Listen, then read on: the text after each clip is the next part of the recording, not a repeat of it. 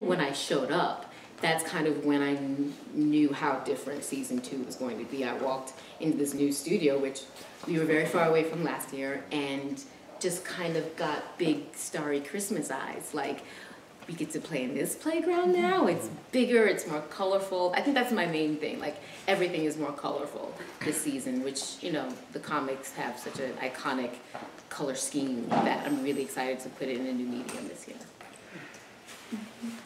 Season two.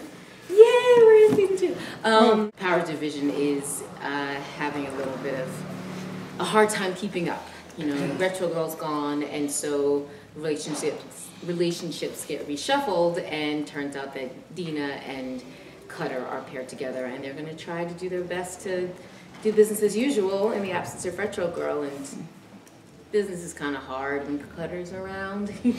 so we'll see uh, how they deal with the distractions. That first interaction with, with Deena and Cutter in season one, you know, nice chin pubes their relationship is always just a little off center of professional.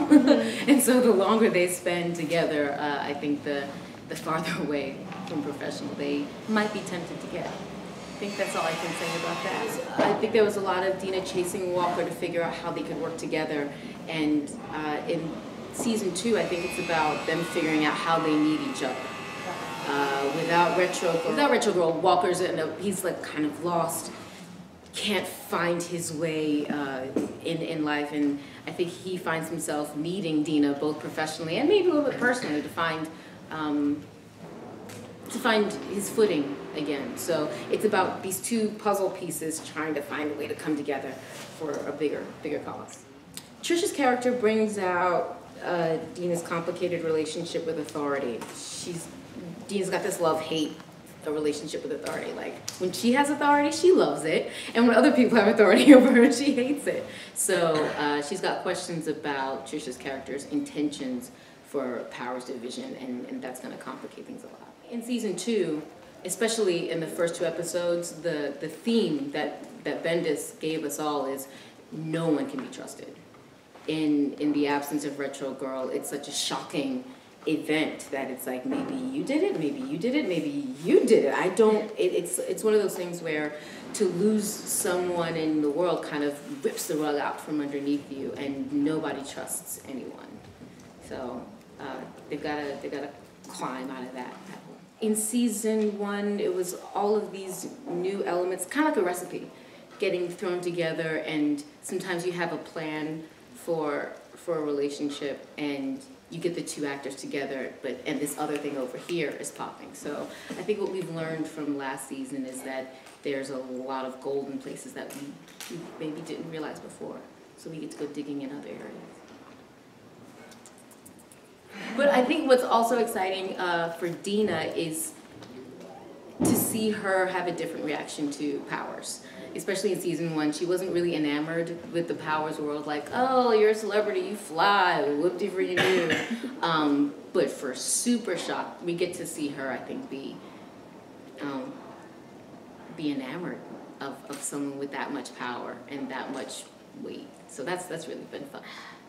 Calista is such a sly one. You don't know if she's going to be good. You don't know if she's going to be bad. So I think, and they also haven't written that part. Um, so I know for me, looking at where they come from, there's going to be a deep amount of distrust, you know, and it's like, let's see what the little girl does with the powers. And I think Deena's reaction will depend on what Calista does.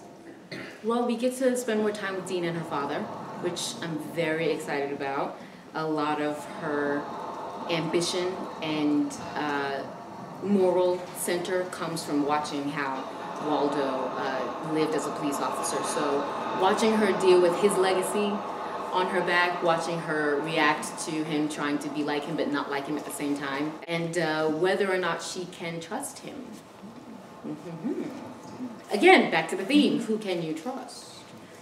It's going to be the amount of distrust, nobody knows anything, and pressure.